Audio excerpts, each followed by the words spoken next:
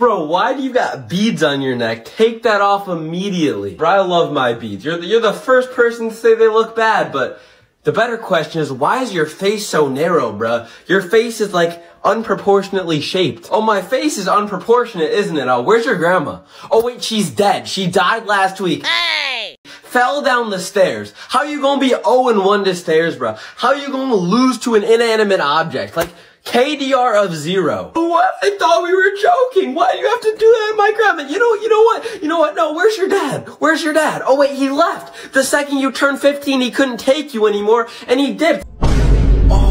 Him and your mom were in a perfectly happy relationship until you came along. Then he decided to hit the road. You know I have him added on Snapchat? He added me by search. I added him back. And he sent me a picture of him with a whole new family. And you know what the text on the picture was? Actually love my kids this time. Well, at least my dad's not serving a life sentence in prison right now for shooting someone. Oh.